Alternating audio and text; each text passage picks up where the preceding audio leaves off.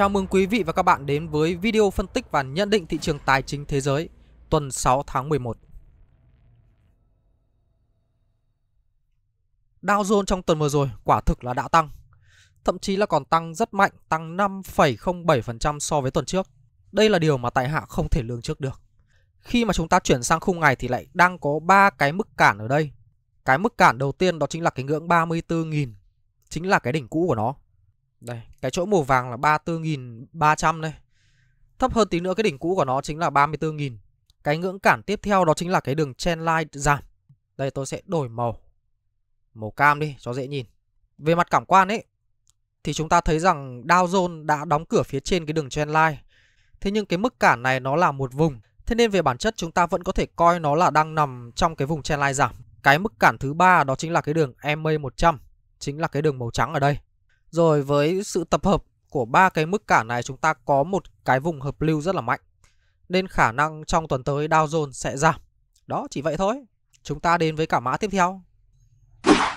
Vàng trong tuần vừa rồi giảm 0,67%. Giá vàng hiện tại đang là 1.992,59 đô. Như vậy là giá vàng hoàn toàn nó không theo kịch bản mà tôi đề ra trong tuần trước, đó chính là đến cái ngưỡng 2040.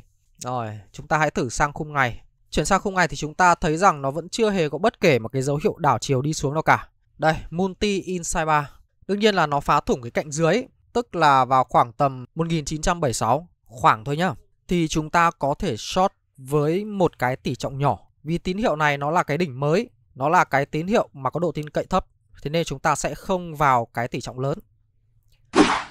Dầu WTI trong tuần vừa rồi đã giảm 4,05%. Giá dầu hiện tại đang là 80,8 đô. Như vậy là cái ngưỡng 82 của chúng ta đã bị thủng. Khi mà chuyển sang khung ngày thì chúng ta thấy rằng cái ngưỡng 82 này đang có những cái phiên đi ngang và nó cũng chưa thực sự à, cho thấy rằng là từ đây sẽ có tín hiệu đảo chiều đi lên hay là tiếp tục đi xuống. Thế nên bản chất dầu chúng ta vẫn đang tiếp tục quan sát thôi, chưa có bất kể một cái động thái gì cả. Bitcoin trong tuần vừa rồi tăng 0,82% và giá tại thời điểm làm video đang là 34.837 đô. Là một cây pin 3 có tín hiệu đảo chiều đi xuống. Tất nhiên là tín hiệu thôi, chúng ta vẫn chưa thể nào vào một cái lệnh short ở đây được. Khi mà chuyển sang khung ngày thì chúng ta cũng chưa có bất kể một cái tín hiệu đảo chiều nào nó đủ tin cậy cả. Thế nên kế hoạch của chúng ta đối với Bitcoin trong tuần sau vẫn là quan sát thôi. Chưa thể vào được lệnh nào hết. DXY trong tuần vừa rồi giảm rất mạnh, giảm tới 1,42%, đóng cửa ở cái ngưỡng 105. Tất nhiên là trên 105 một tí, à, làm tròn là 105. Ở đây thì chúng ta thấy rằng DXY là vẫn đang có những cái phản ứng ở cái đường giữa của Bollinger Band 14 và cái ngưỡng 105. Chuyển sang không đến ngày thì chúng ta thấy rất rõ ràng đó là đã có xác nhận đảo chiều đi xuống và xác nhận này là của mô hình giá cả một con sóng to luôn. Thế nên cái khả năng cái ngưỡng 105 này bị thủng khá là cao. Tất nhiên là trước khi thủng cái ngưỡng 105 thì rất có thể là sẽ có một vài phiên hồi.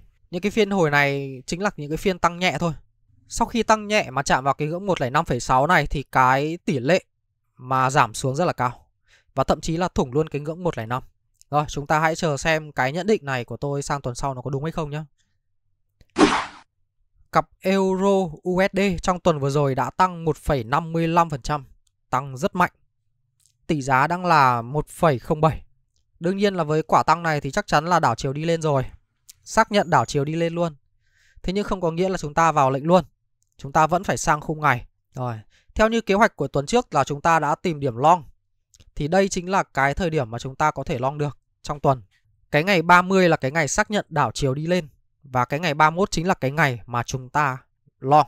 Đó là sang tuần sau chúng ta sẽ chờ những cái phiên giảm, giảm nhẹ nhá.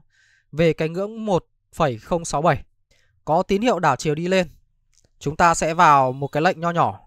Có xác nhận đảo chiều đi lên chúng ta sẽ vào tiếp một lệnh nữa. Đương nhiên là lệnh long rồi. Đó, cơ hội của chúng ta trong tuần sau đấy.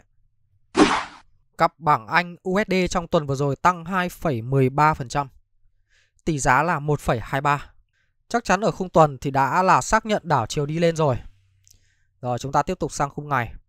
Sang khung ngày thì chúng ta cũng có cái cơ hội cũng giống như là cặp EU ấy. Đó là chúng ta sẽ chờ đợi những cái phiên giảm. Giảm nhẹ đây. Giảm nhẹ về cái ngưỡng 1,233. Rồi sau đó chúng ta sẽ chờ đợi những cái tín hiệu đảo chiều đi lên để chúng ta long.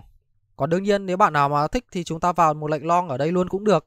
Tất nhiên là vào với một cái tỷ trọng nhỏ thôi. Bởi vì cái khả năng nó nó giảm về cái ngưỡng 1,233 này là rất cao. Cặp đô la Mỹ và yên Nhật trong tuần vừa rồi giảm 0,18%. Tỷ giá đang là 149,3. Mặc dù đúng là giảm như những gì mà chúng ta nhận định trong tuần trước, thế nhưng với cái biên độ của cây nến tuần này ấy, thì chúng ta vẫn phải cắt lỗ. Cái cây ngày 31 tháng 10 này chính là cái cây mà sẽ chạm vào cái ngưỡng cắt lỗ của chúng ta. Đấy là lý do tại sao mà vẫn phải vào những cái lệnh có tỷ trọng nhỏ trước để chúng ta thử thị trường. Thị trường biến động khó lường lắm, chúng ta sẽ không thể biết được thị trường nó sẽ đi như thế nào. Kể cả đúng như những gì mà mình nhận định rồi thế nhưng nó vẫn có những cái biến số mà chúng ta không thể tính được. Đấy, trước khi xuống đây, nó vẫn là một phát chọc trời như thế này thì bố ai mà chịu được. Còn đến thời điểm này thì chúng ta sẽ không có một cái lệnh nào nữa, kể cả lệnh short cũng không có. Hiện tại thì chúng ta đang có cái thế nến multi inside bar ở đây. Và đương nhiên vào lệnh uh, short hay là long thì chúng ta sẽ chờ nó phá cạnh trên hay cạnh dưới đã.